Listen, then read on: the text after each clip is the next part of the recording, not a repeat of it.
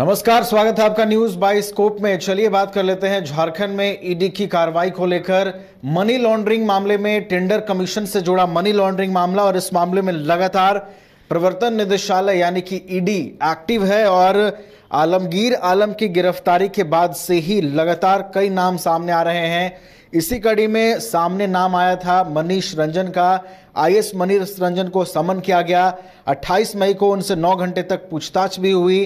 कई अहम दस्तावेजों को लेकर वो पिछली बार पूछताछ में शामिल होने पहुँचे थे। लेकिन एक बार फिर से अब उनसे आज पूछताछ होगी। पूछताछ के लिए ईडी कार्यालय वो पहुँच चुके हैं। और अब आज की पूछताछ पर पूरी निगाहें टिकी रहेंगी कि आज जो ईडी उनसे पूछताछ करेगी, उसमें क्या अहम सवाल होंगे। और कौन से आ, आ, सवालों के जवाब ईडी तलाश रही है कैसे आगे कड़ियाँ जुड़ेंगी इन चीज़ों को हम समझेंगे हमारे साथ। सहयोगी नीरज भी जुड़े हुए हैं उनका रुख कर लेते हैं। नीरज एक बार फिर से आज पूछताछ के लिए पहुँचे हैं मनीष रंजन। आज क्या कुछ सवाल हो सकते हैं? कौन से जो अहम सवाल हैं वो आज पूछे जा सकते हैं? और किस तरीके से कड़ियाँ अब जुड़ती दिख रही हैं आपको? टेंडर कमीशन से जुड़े मनी लॉन्ड्रिंग मामले में दूसरी बार आईएएस मनीष रंजन से पूछताछ होगी, क्योंकि ग्रामीण विकास विभाग के पूर्व सचिव रह चुके हैं और मौजूदा समय में भू राजस्व सड़क और भवन निर्माण विभाग में बतौर सचिव जो है वो अभी कार्यरत है। और टेंडर कमीशन से जुड़े मामले में जो है उन्हें समन भेजा गया था। दूसरी बार आज पूछताछ होनी है। साढ़े दस बजे लगभग जो है वो पहुँचे हैं। अपने साथ तमाम कागजात जो है वो लेकर पहुँचे हैं, जो ईडी के अधिकारियों ने पिछली पूछताछ में मांगे थे। पिछली पूछताछ यानी कि 28 मई को हुई थी, लगभग 8 से 9 घंटों तक पूछताछ की गई थी और क्योंकि नाम उनका सामने आया था टेंडर कमीशन से जुड़े मनी लॉन्ड्रिंग मामले में, जब मंत्री आलमगीर आलम की गिरफ्तारी हुई थी, तब ये बताया जा रहा था कि मनीष रंजन जो कि उस समय सचिव थे ग्रामीण विकास विभाग के जी।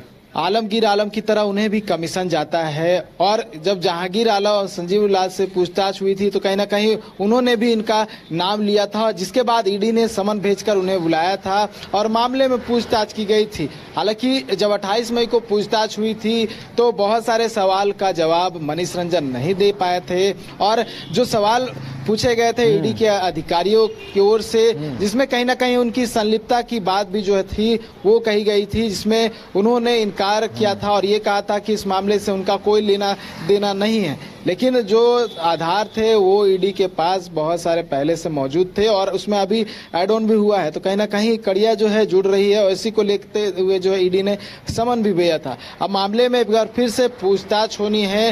पूछताछ में क्या कुछ नए खुलासे होते हैं ये देखने वाली बात होगी। लेकिन इतना ज़रूर है कि मुश्किलें जो है वो बढ़ सकती हैं क्योंकि ईडी ने बहुत सारे आधार को जोड़ते हुए इन्हें समन भेजा था और दूसरी बार पूछताछ हो रही है हम्म। और बहुत सारे जो सवाल के जवाब है ईडी के अधिकारी लेने की कोशिश करेंगे। और बीते 28 मई को जब पूछताछ हुआ था तो बाकायदा एक फॉर्म भी दिया गया था और उस फॉर्म को ईडी के अधिकारियों ने भरकर लाने का निर्देश दिया था। संभवतः वो फॉर्म भी अपने साथ लेकर मनीष रंजन पहुँचे होंगे।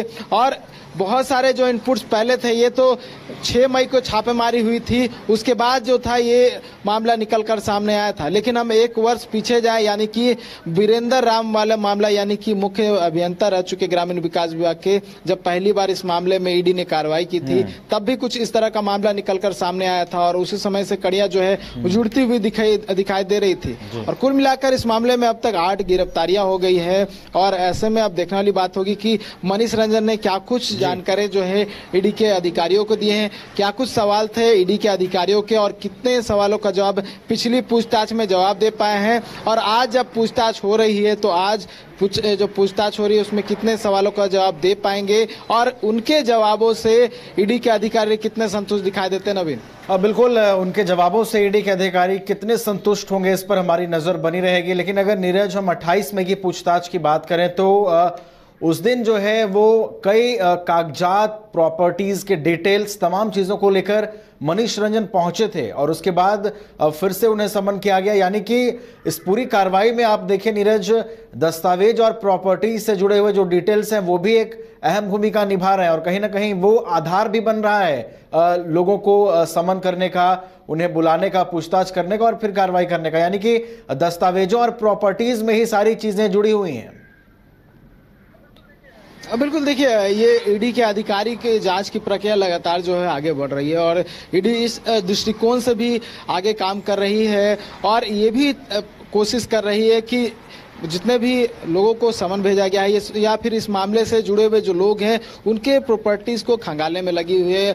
और उनके सोर्स ऑफ़ इनकम क्या कुछ रहा है? क्या ये जो प्रॉपर्टीज़ बनाए गए हैं, उसका कोई वैध या फिर अवैध तरीके से जो है ये प्रॉपर्टी बनाया गया है, ये कड़ी से जो है वो जोड़ने की कोशिश की जा रही है। इस लिहाज से भी जो है ईडी के अधिकारी आगे बढ़ रहे हैं और हो सकता है कि ईडी इनके सोर्स ऑफ़ इनकम तलाशने की कोशिश करे और अगर कोई पुख्ता आधार नहीं मिलता है कि कोई जो वैध तरीके के पैसे से जो है इन्होंने प्रॉपर्टी बनाई है तो हो सकता है कि आने वाले समय में बड़ी कार्रवाई हो सकती है, क्योंकि वीरेंद्र राम वाले केस में हम लोग देख चुके हैं कि वीरेंद्र राम के तीन मकान थे जो कि दिल्ली में स्थित थे, और वहाँ पर ईडी ने कार्रवाई की थी और तीनों प्रॉपर्टीज़ को अटैच कर लिया था। तो इस वाले केस में भी संभवतः इस तरह का सिचुएशन है आ सकता है, इस तरह की कार्रवाई ईडी की ओर से देखने को मिल सकती है, क्योंकि कोर्ट में जब ईडी ने अपना रिमांड पिटिशन दाखिल किया था।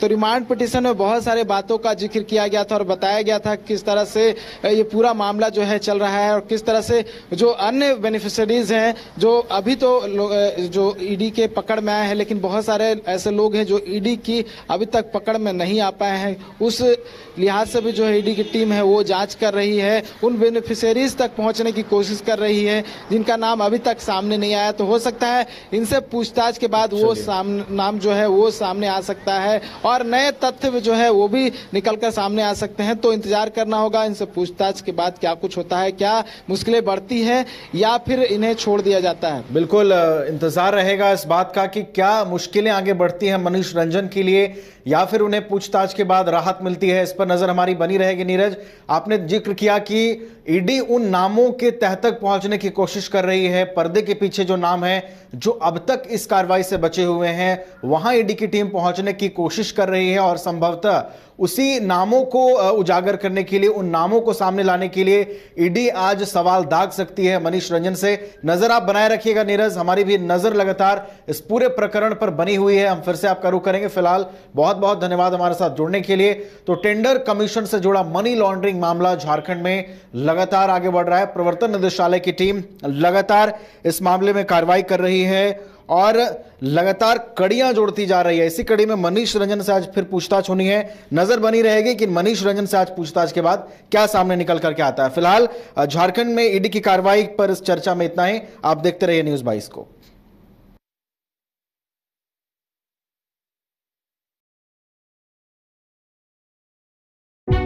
हज़ारों छात्रों के सपनों को सफलता की उड़ान देता गोल इंस्टीट्यूट। 26 वर्षों में 17,000 से अधिक डॉक्टर बना चुका रिज़ल्ट फैक्ट्री के रूप में विख्यात झारखंड के छात्रों एवं अभिभावकों के बीच सर्वाधिक विश्वसनीय एवं लोकप्रिय संस्थान गोल नेशंस लीडिंग इंस्टीट्यूट। हमारा विश्वास गोल के साथ। पाँच राज्य इकसठ शहर 150 प्रोजेक्ट और एक वास्तु विहार। नई सोच नया घर। बनाए रखिए अपना प्यार। सेवा में है वास्तु विहार।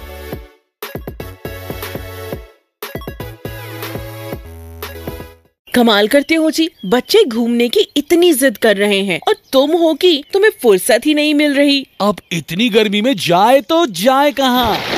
इस गर्मी में मस्ती और फन का आ गया है परफेक्ट डेस्टिनेशन वाइल्ड वादी जहाँ है water park bird park flower park trampoline park amusement park 250 feet लंबा जिप लाइन और क्रिकेट स्टिमुलेशन का खूबसूरत नज़ारा वाइल्ड वादी दस माइल चौक, रांची। वाइल्ड वादी यानी अनलिमिटेड फन और अनलिमिटेड मस्ती।